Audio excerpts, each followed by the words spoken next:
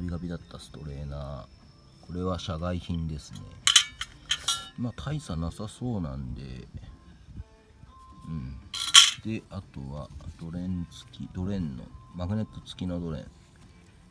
で、えー、ガスケット買ったんですけど